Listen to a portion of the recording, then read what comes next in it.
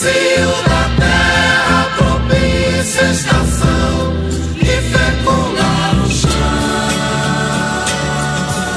chão.